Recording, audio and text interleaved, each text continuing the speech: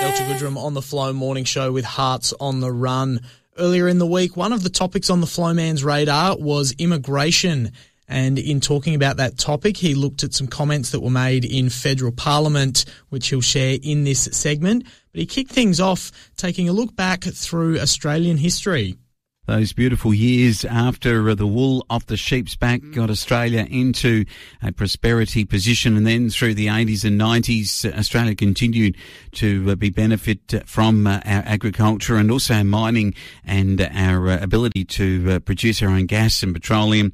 Well, they were the golden years, uh, and the honeymoon way will be over. Malcolm Roberts talks about why everyone wants to get to Australia, immigration, and but why we haven't got now with the numbers of people coming into Australia. We're talking here 600,000 each year, but at least 2 million that require housing right now. And that uh, as an issue that uh, has centrally not been looked at by the Albanese government. They continue to allow high immigration numbers without addressing the fact that there's nowhere for the people to live. Here's what Malcolm Roberts, uh, the federal senator, had to say in the federal parliament. I take note of the government's answers to my questions on the rate of immigration, visas, and Australia's housing crisis. We know that the conversion of houses to Airbnbs takes away beds in which Australians could be living. The Albanese government saw over 5.86 million tourists arrive last financial year. That's creating a huge incentive for property owners to turn their houses into lucrative short stay accommodation, making a housing and rental crisis worse. We only have 100,000 dedicated student accommodation beds, yet the Albanese government issued a record 687,000 student visas in one year. Analyst Tarric Brooker has used Department of Home Affairs data to show that there are 2.3 million visa holders likely to require housing in the country right now. This figure excludes tourists and other short stay visas. In the past three years, almost every Australian in a rental has had their rent increase, often savagely.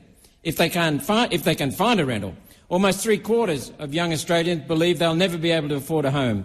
If this rate of people coming into the country is maintained, sadly, they'll be correct. Australia's housing crisis is a direct result of the Albanese government's flood of permanent immigration, visa holders and tourists. There are two sides of the housing equation, supply and demand. With record overseas arrivals driving record levels of demand, we will never be able to build enough supply to keep up with demand. And on the supply side, barriers to building even more housing are growing. Rising interest rates are putting pressure on borrowing capacity to pay for new houses. Construction supply chains are still broken from federal and state COVID mismanagement, gross mismanagement. Rising material costs combined with existing, with existing fixed price contracts are squeezing builders and the construction industry is facing a wave of insolvencies.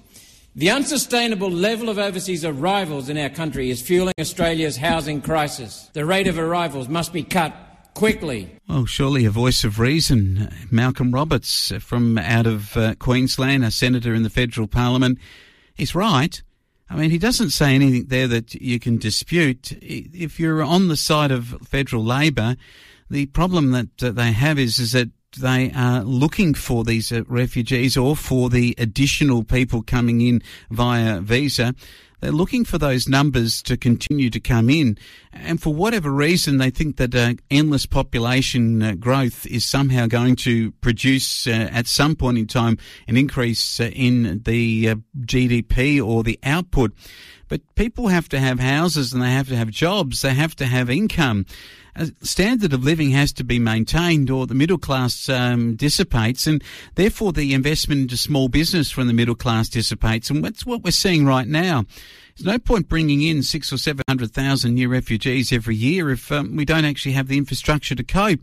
We've got people living in tents, and I think Malcolm Roberts rightly points out the inadequacy of the planning by both this federal government but also the Morrison government through the COVID crisis.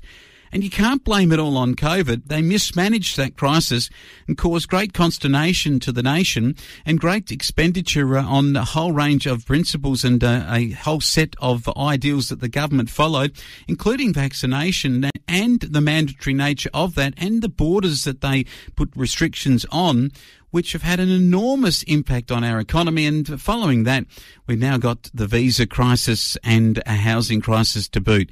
Mr. Roberts, I think, makes a fair assumption.